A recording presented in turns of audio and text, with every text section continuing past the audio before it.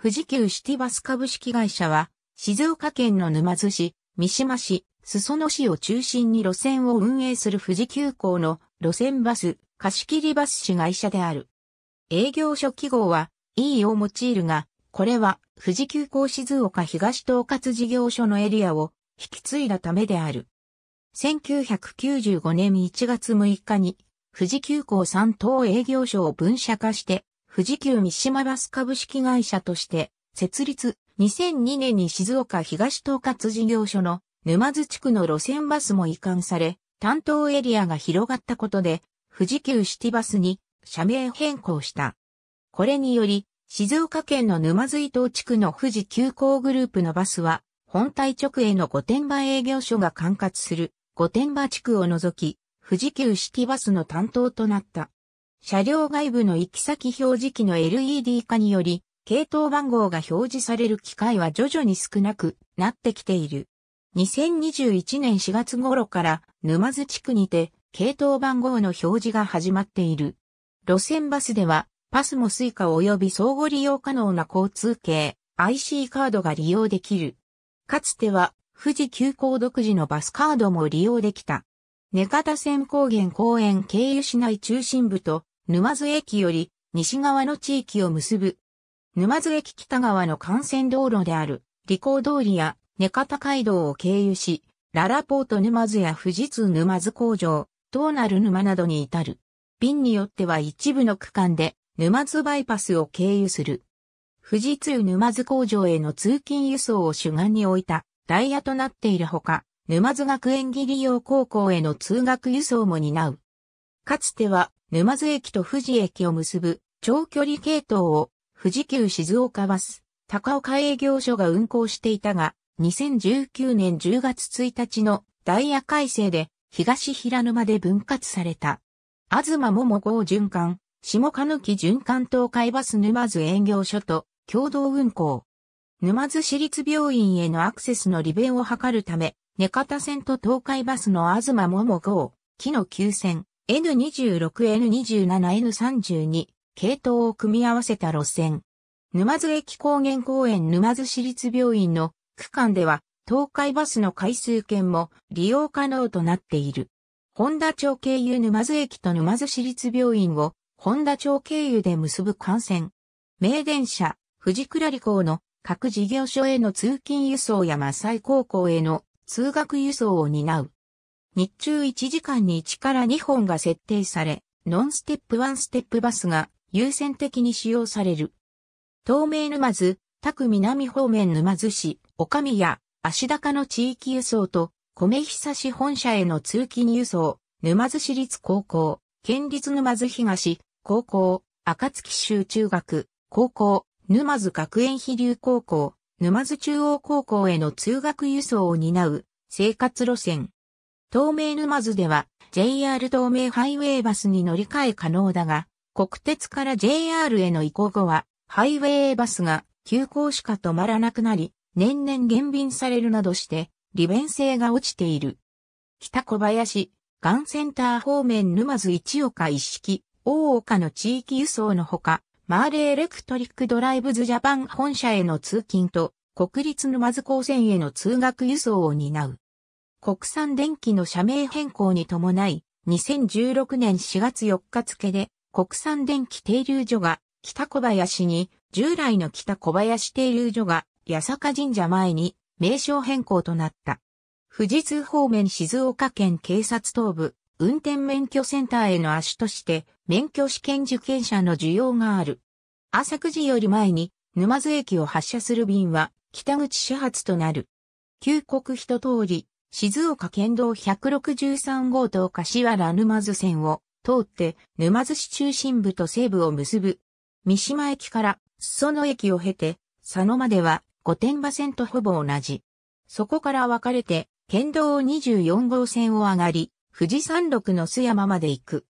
裾野市佐野、御宿、富岡、今里、下和田、須山と市内中心部を結ぶ生活路線であり、トヨタ自動車東富士研究所、ヤクルト本社富士裾野工場などの近くも通る。途中の須山までは、須山線とほぼ同じで、そこから山を上がって、富士サファリパーク、グリンパ、スノータウンイエティまで行く観光客輸送路線。三島駅イエティ間は、準急と特急合わせて2往復が毎日運転される。春、秋は水ヶ塚公園まで延長運転するほか、夏は富士山富士宮口5合目発着の季節運行便が運転される。三島市内からトヨタ東日本東富士工場、トヨタ東富士研究所へ通勤する社員のための路線。朝に三島駅発、夕方トヨタ東、富士発の2往復が設定され、そのうち朝の1本は御殿場特別支援学校まで行く。平日のみ運行。長泉なめり駅経由へ、長久保経由と休日のみ運行。平日のみ運行。平日1往復のみ運行。トヨタ自動車東富士研究所、トヨタ自動車東日本東富士工場の出退勤に合わせて運行。朝の出勤は1本だけだが、交代勤務者の出勤となる夕方時間帯には3本設定されている。また、大和運輸静岡主幹支店、裾野ベースへの通勤輸送にも活用されている。静岡市政から東海道新幹線経由で富士五湖方面へ向かう観光客の需要を当て込み、2010年4月5日付で開設された。1日9往復運転される。三島駅発10時台から18時台の便は13時台を除き新大阪方面からの上り、光号との接続を考慮しており、京阪神や名古屋方面から富士五湖方面へのアクセスの利便性向上を図っている。高速自動車国道は走行しないが、自動車専用の東富士五湖道路を通行するため、高速バス用の車両を使用する。当初は1日に往復の運行を基本とし、土休日及び4月24日から5月9日、7月17日から8月31日、12月29日から1月10日、3月26日から4月3日の間は2往復増便され、4往復の運行となっていた。三島駅御殿場駅間は、御殿場線と同じルートで走行し、途中その駅入り口、岩波駅、御殿場駅にも停車していたが、2012年4月のダイヤ改正ですそのと岩波、翌2013年4月の改正で、御殿場駅での停車扱いを終了。その市から御殿場市内にかけて、そのバイパス経由に変更されて事実上の直行化が図られた。2017年4月からは1日8往復に増強、その後さらに増便されて、現在に至る。高速バス、東京駅線 E8501、ミューバス富士急シティバス E2051 いずれの路線も100円期日運賃となっている。専用カラーの車両を4台所有。すべて日のレインボー HR ノンステップ車。2000年に導入された2台は7メートル車。企業の受託輸送を行っている。路線リニューアルのため、2013年4月7日限りで廃止。2011年4月3日限りで廃止。ミューバス、原循環線に移行のため、2001年に廃止。東海大学沼津校舎へのアクセス路線。同校舎に置かれていた開発工学部の廃止により、校舎が閉鎖されたため、2014年4月限りで廃止。スソノール新吉原線の運行開始に伴い、2008年10月31日、限りで廃止。JR 御殿場線と多くの部分で並行するが、御殿場駅と東海道新幹線乗り換え駅である三島駅への短絡ルートとして地元利用者に重宝される。その他、三菱アルミニウム富士製作所、矢崎創業本社工場、トヨタ自動車東日本東富士工場などへの通勤輸送、御殿場駅での川口湖線接続による富士五湖方面への観光客輸送の側面も持つ。2010年に前述の特急、三島、川口湖ライナーが新設される以前は観光客の乗車がかなりの割合を占めた。従来富士急行と共同運行していたが、2018年4月2日のダイヤ改正で富士急シティバスは運行から撤退し、富士急行の単独運行となった。この際、平日12.5往復と休日11.5往復から毎日5往復へ大幅に減便された。富士急行全体としては、日野社が中心であるが、静岡地区では、伊豆社の導入も目立っており、伊豆の路線車は当時は、沼津営業所のみの納車であった。その後は、UD トラックス社の比率も高まった。1977年に導入されたイスズ BU04 で導入された E5750 は、沼津ナンバーで最初に新車扱いで登録された。CNG バスは導入されていないが、2008年には富士急シティバス発の抵抗外バス、エバーグリーンシャトルとして、日のブルーリボンシティハイブリッドが2台導入された。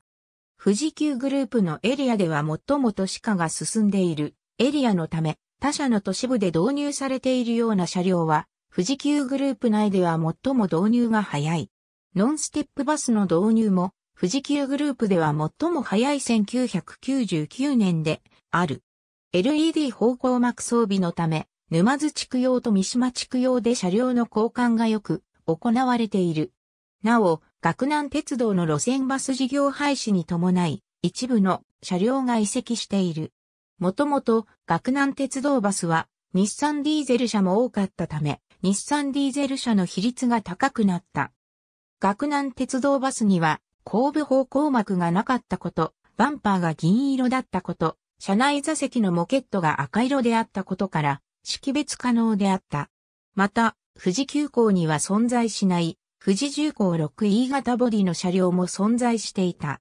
また、高速バスに使用される日のセレガの一部に JR バス関東からの移籍車両があり、前面のナンバープレートの位置が左寄りに取り付けられている。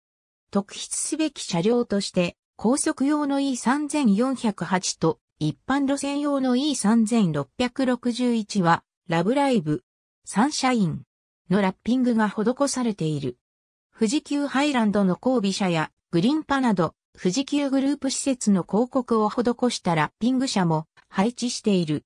2018年春のダイヤ改正について、富士急行、2019年6月12日閲覧、バスラマインターナショナル通関119号 P84、ありがとうございます。